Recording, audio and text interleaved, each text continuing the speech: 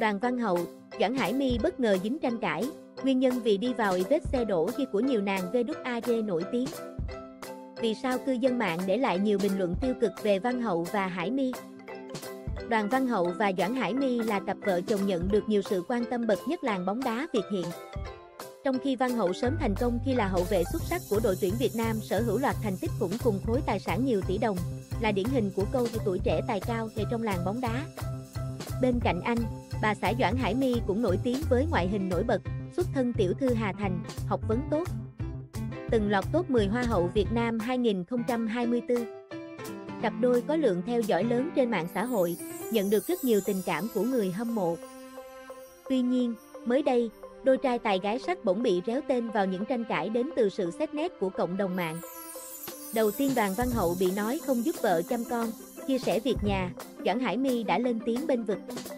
Ngay sau đó, đến lượt Doãn Hải My nhận về những ý kiến trái chiều khi quảng cáo cho cùng một loại sản phẩm dành cho mẹ và bé nhưng của nhiều hãng khác nhau.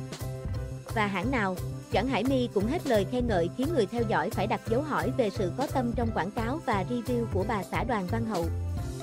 Có những người đã nghe theo quảng cáo của Hải My và mua sản phẩm về dùng, nhưng ít lâu sau lại thấy cô nàng khen một hãng khác với sản phẩm tương tự, trong lòng không khỏi nảy sinh thắc mắc. Doãn Hải My sau đó đã giải thích, Ê mình trải nghiệm nhiều sản phẩm, cứ sản phẩm nào tốt sẽ chia sẻ với mọi người chứ không phải chỉ một sản phẩm. Chứ không thể vì đã khen một hãng mà không được phép khen một hãng tốt khác nè. Mỗi hãng sẽ phù hợp với nhu cầu và tài chính riêng. Vợ đoàn Văn Hậu mong mọi người hãy hoan hỷ đón nhận và cứ yên tâm xem cô review để tham khảo. Trước đó, Doãn Hải My cũng khiến dân tình xôn xao khi khẳng định máy hút sữa và máy hâm sữa là những sản phẩm e không thể thiếu e cho mẹ bỉm sữa nhưng vấp phải sự phản đối của dân mạng. Bởi với những gia đình không có điều kiện vật chất, các mẹ bỉm vẫn lo được cho con mà không cần đến những máy móc hiện đại trên. Tranh cãi về các quảng cáo sản phẩm của Doãn Hải My khiến người hâm mộ nhớ đến nhiều nàng VWAG cũng từng bị réo tên vì cách PR, quảng cáo sản phẩm một cách quá đà, phóng đại công dụng của sản phẩm như Chu Thanh Huyền, vợ Quang Hải, Mai Hà Trang, vợ Hà Đức Chinh.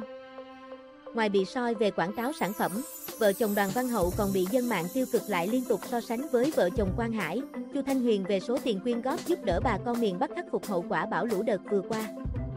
Mặc dù làm việc thiện là xuất phát từ tâm và tùy vào điều kiện kinh tế của từng gia đình. Đoàn Văn Hậu, Doãn Hải My bất ngờ dính tranh cãi, nguyên nhân vì đi vào vết xe đổ kia của nhiều nàng VWAG nổi tiếng, ảnh 2. Các bạn hãy đăng ký kênh để cập nhật thông tin miễn phí mới nhất.